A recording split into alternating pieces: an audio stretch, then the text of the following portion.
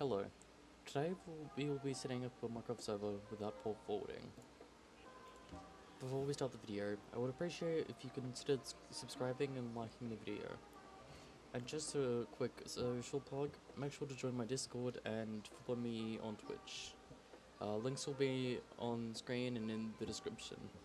With that out, of the way, let's get on with the video. Head over to papermc.io click the downloads button. Click, then click on the most recent version, which for me is hashtag 132, but for you it will be different. Now create a new folder on the desktop and place the file there. You may have to look in your downloads folder for the file if you are using a different browser, like Chrome. Next, go to playit.gg and click the download button at the top. Click the download button that is for your operating system. For me, that is Windows. Put that in the same folder as you just created, along with that other file that we just downloaded. On Google, search for Java 11 and click the first link. Once again, click on the link that is for your operating system. Click on, Win- for me, that's Windows, um, and click e- either the MSI installer or the installer, both do the same thing. I forgot to add in the video that you'll need to install it. Now go back to the folder and click on the paper jar. It will take a little bit to generate the, the required files, so I've sped that up.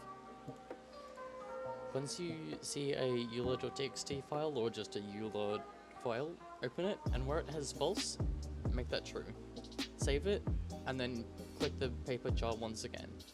It should open, and wait till on the right panel it says done at the bottom.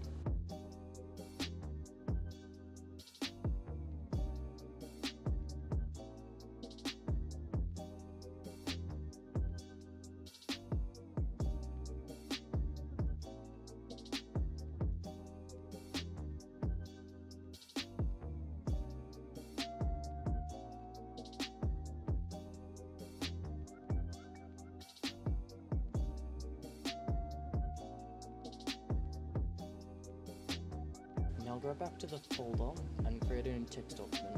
You can call it whatever you want, but it must end in a .bat. This is what you will use to start your server from now on.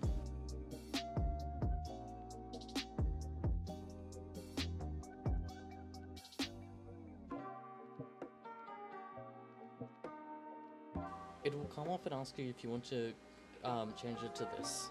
Click yes, and then right click on the new file and click edit. Notepad will now open and type cd with two quotation marks and then go back to the folder and at the top of the file explorer click the folder name and it will expand to give you the full path. Copy that and go back to Notepad and paste that in between the quotation marks. On a new line, type start and then go back to the folder and right click on the cleared hyphen win file and then click rename and then press Control A on your keyboard and then Control C to copy it. Now go back into the notepad and paste it. On another new line, type java hyphen jar and then copy the paper file name like how we did with the play it dolmen file. And then go back to notepad and paste that.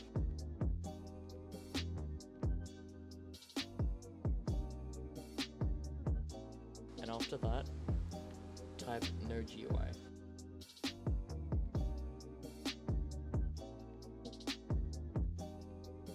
On another line, type pause in all caps, and then save the file and close it of Notepad.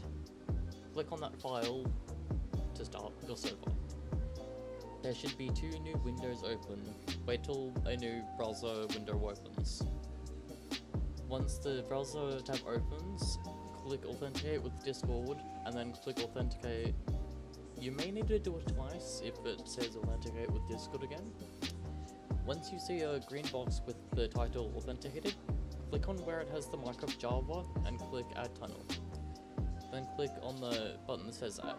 For me, it says Update, but for you, it should say Add.